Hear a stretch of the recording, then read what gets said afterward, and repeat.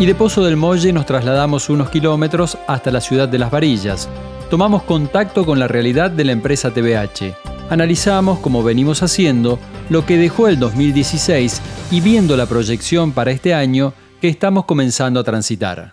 Sí, la verdad que el año 2016 es un año que lo empezamos con mucha expectativa, con mucho interés, porque realmente al asumir el nuevo gobierno, los cambios que proponían, eso nos alentaba un poquito a, seguir con nuestro proyecto y nuestro empuje que permanentemente tenemos. ¿no?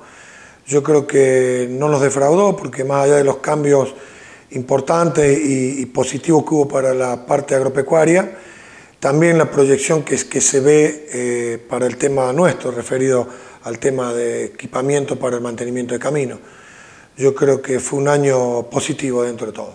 Y especialmente se cierra con expectativas de ciertas mejoras en todo sentido, tanto el mercado agrícola-ganadero, este, como también en, especialmente lo que nos, toca a nosotros en la obra pública. ¿no?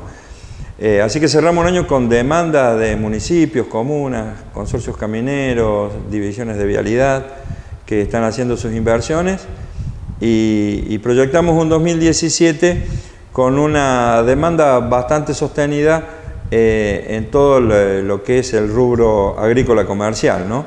Este, bueno, basado en la relación que tenemos con nuestros concesionarios, nos hemos ido extendiendo en todo el país, hemos ido desarrollando estructuras comerciales que han dado su respuesta ya eh, desde hace un par de años y que se están fortaleciendo, creemos que vamos a, comenzar a cosechar resultados importantes a partir eh, del año que viene también, así que eh, proyectamos un 2017 con una mejoría por sobre lo que venimos haciendo. un año donde tenemos que reestructurar el sistema de venta para llegar a municipios y comunas y consorcios. Un año donde seguimos trabajando permanentemente en proyectos nosotros, pero este año nos alienta un poquito porque creo que las políticas económicas que está tomando el gobierno, como la baja de retenciones y, el proyecto de baja de retenciones a futuro, eh, va a mejorar el poder adquisitivo del sector agropecuario. El sector agropecuario eh, permanentemente está renovando equipos, eh, tiene que empezar a trabajar como realmente tiene que ser, como una empresa, y eso le va a obligar a, equiparse y a tecnificarse cada vez más.